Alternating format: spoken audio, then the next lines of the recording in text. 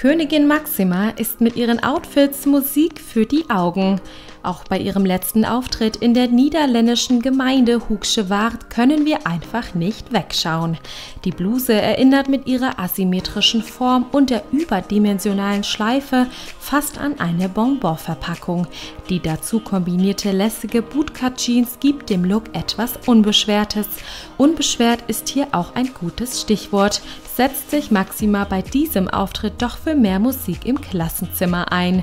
Die Königin ist Ehrenpräsidentin Präsidentin des Programms und fordert eine musikalische Grundausbildung für Grundschüler. Der Besuch in der Schule in Pötterschuk ist etwas ganz Besonderes. Ist es doch das erste Mal, dass Maxima der Gemeinde im Westen der Niederlande einen Besuch abstattet.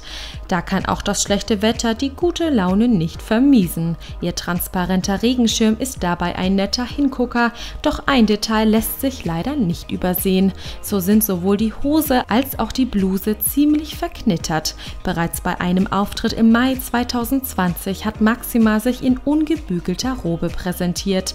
Bei ihrem Besuch eines Amsterdamer Krankenhauses zeigt sie sich im zerknitterten Ballonärmelkleid. Doch woran liegt es, dass die Königin sich öfter mal in ungebügelten Looks präsentiert? Erklärungsversuche legen nahe, dass Maxima sich gerne in natürlichen Stoffen zeigt, die einfach schneller zerknittern. Zudem reist die Königin durch die Niederlande gerne im Auto.